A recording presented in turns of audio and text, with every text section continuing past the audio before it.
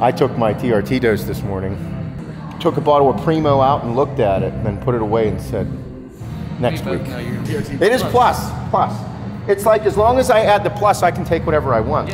Coach Kolton here. Seth Feroce is back on gear after having been retired for just about 12 years and talking about trying to maintain a healthy lifestyle after having some serious health issues in his bodybuilding career. And now suddenly, this is a new journey for him. He wants to get to 240 pounds after having been living a lifestyle that's using just a little bit of gear. The last time I heard him quote how much he was using, it was something around 250 milligrams of testosterone and four IUs of growth hormone a week. I could be wrong, and please let me know down in the comments below. He has decided to take this journey down to 240 pounds, and I think we can all kind of point out as to why this might be a not so great idea. In this post by Buys and Tries, we see a lot of comments that are pretty demeaning, to be honest. A lot of ones that have a lot of, uh, well, contentious thoughts about what Seth is doing. In fact, talking about didn't he have some serious health issues? These people need to invest time in a good therapist, not even making fun he had kids. And it's very clear that there's been a sudden shift in Seth's goals during this period of time. For whatever reason, he did a complete 180. Uh, the, earlier this year, you guys saw me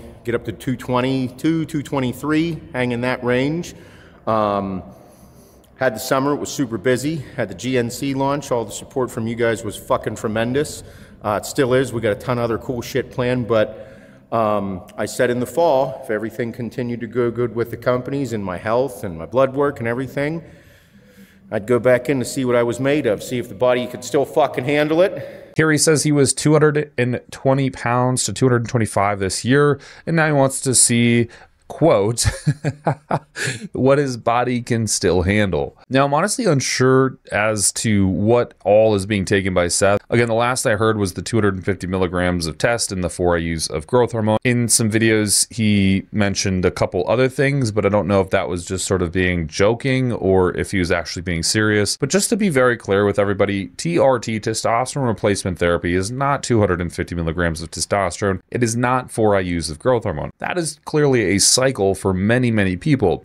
And you might think, well, if he needs to get his testosterone levels up to a certain range, he might need 250 milligrams. And if you're that big of a human being and you've been using a larger dose of androgens for a good portion of your life, you actually will have more androgen receptor density than you would if you hadn't used androgens at a copious amount for the most of your life. And so the actual argument could be that you could use less and get away with more, even if the serum testosterone levels were actually lower than somebody else. But I will say it is more modest compared to what most bodybuilders bodybuilders are running these days because bodybuilders tend to, well, abuse steroids. This is very clear. Also, a sudden oddity that we're seeing Seth turn into Giga Seth as he started to do something a little bit different this fall. And we could take that something at face value, in which the information that has been given to us through Seth's videos recently is that he's just been manipulating food for these results and hasn't been adding his favorite anabolic anadrol yet. In fact, actually, in many of the videos, he talks about preferring to now start to focus on on more of a mind muscle connection and being really cerebral with his training, as well as just getting a little bit more intense with it altogether. I think there's a lot of alternative methods that Seth really talks about that other people simply don't because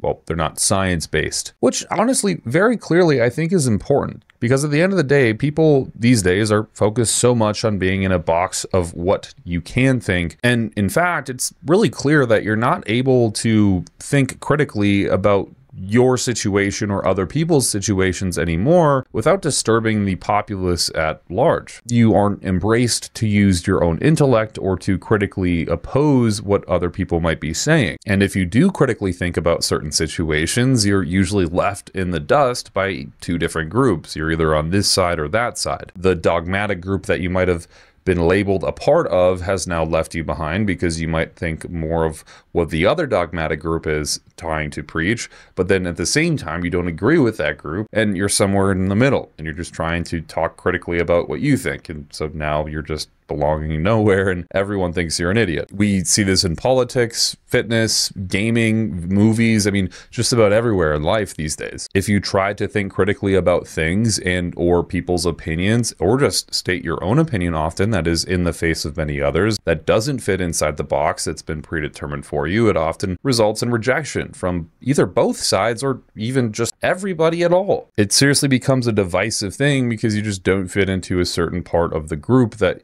you were supposed to fit in, but you didn't really fit in in the first place, but you were just labeled by that other group who's against the group and it's this really weird social dynamic with again just about everything we do. And it's in this realm the science based group versus the bro science group. And it's like this super huge dichotomous argument thing where if you say one thing you're with this side and if you say another thing you're with this side and you, you can't just have an opinion. Like you you aren't encouraged to just think critically about something. You have to fit inside of the box that you are provided. And that's like with everything. And I think it's absolutely crazy. But one of the reasons that I do like Seth is that he is kind of an outside of the box thinker. He does not really shy away from talking about what his thoughts are, his opinions, and how he interprets reality. But anyways, here's the point of the whole video. Is what Seth doing stupid? Will it cause negative health impacts? Well, the short answer is yes, it is stupid. The long answer is, well, I mean, here's the long answer. First, elevated insulin. Seth talked about using pre workout Humalog a bit in his videos uh, he's been posting recently on YouTube where he walks through workouts. Hyperinsulinemia is an important etiological factor in the development of metabolic syndrome, type 2 diabetes, cardiovascular disease, cancer, and premature mortality. And mind you, this is all independent of fat mass. Someone can have a very lean body mass index and still be considerably much more at risk for immediate death, which with a elevated insulin at a chronic rate. And again, Seth has already mentioned using Humalog many different times pre-workout to get the best pumps and the best results. Again, I honestly can't tell though if he was joking or being serious or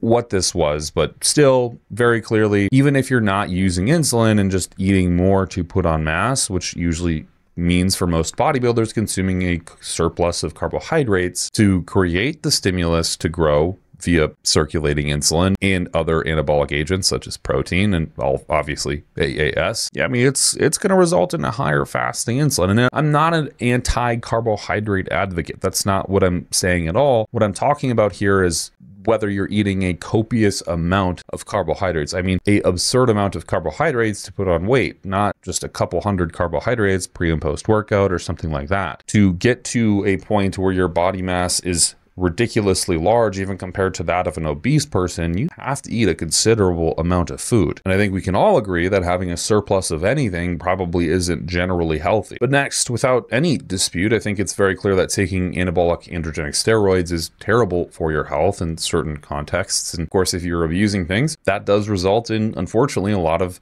detriments to functionally being a human altogether. And it can increase your risk for a lot of things, especially while you're at an older age. And Seth isn't old as dirt, but he's a lot older than when he was in his 20s. For one, steroids increase cardiovascular disease risk massively, but many other health related issues as well. We also have a study that emphasizes that individuals predicted to be at a absolute higher risk for CVD events are more likely to derive net benefit from CVD prevention treatments, with age being the considerate factor for risk stratification.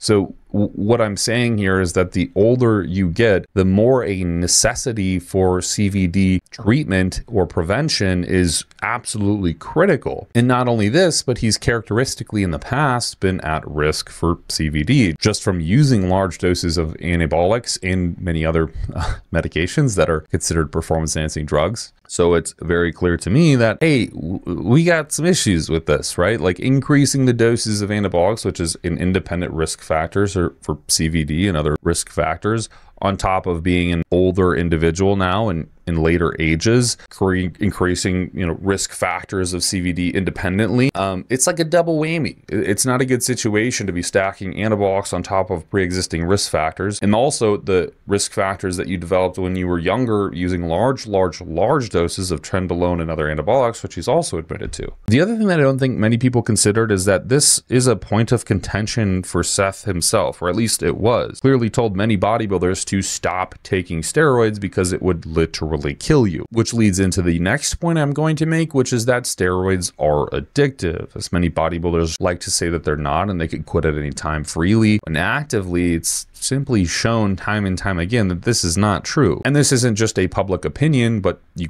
can certainly see it happening in general population when you're looking at bodybuilders. This is clinical data as well. And I'm not excluding myself from this party at all. I've talked about how hard it is to just stop taking steroids, performance enhancing drugs, peptides, other things, because it's great. Like you do derive a lot of benefit in a lot of different situations, but of course there is going to be implied risks because, well, biology doesn't give you free lunch. We've had data since the 1980s talking about this exact issue and many other studies as well well. I mean, this data is clearly displaying a psychological trend within users of anabolic steroids. It's addictive for more than just one reason, including manipulating dopamine function in the brain, which is your reward system implying that you can actually derive more of a intense rewarding feeling from doing steroids. And what we often see is that a bodybuilder says, I'm quitting or I'm coming off or I'm going on to TRT now. And then one year later, they're the same size, they're still yoked, they're still veiny and vascular, and they're still living the lifestyle of a bodybuilder without really any significant changes. To be very clear, I'm no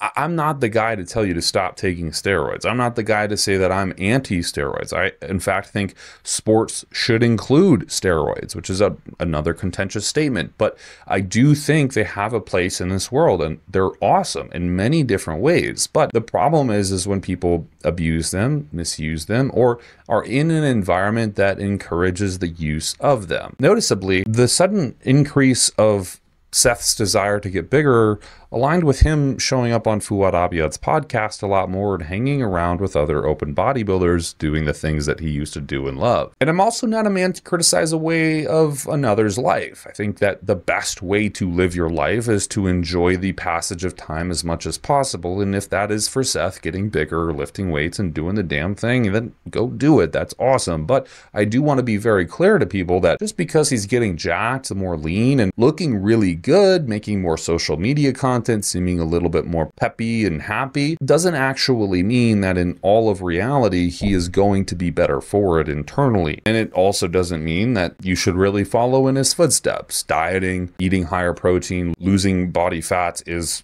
absolutely healthy, and I suggest most people do it, but that doesn't mean you need to run a large cycle to follow in Seth's footsteps. If you really want to be healthy, the simple thing I can think about that really would help a lot of people is just eat more protein, generally track your tra- calories for, for at least two to three months to understand where your caloric needs are to maintain or even lose just a small amount of weight per week, and then continue to do that for the rest of your life whilst you lift weights, resistance train, and do some form of intensive cardio at least three three to four times a week and make sure you're walking somewhere around eight to 10,000 steps a day. And that's basically all you need to be doing. I think there's a lot of talk about what's right, what's wrong, and this huge ambiguous formation of information on the internet that we just have so many different veins of rights and wrongs at the end of the day, it's super simple, right? If you want to look good, you just simply track your food, understand where your body belongs at calorically, make sure you're eating enough protein, and then just perform enough activity to synthesize muscle tissue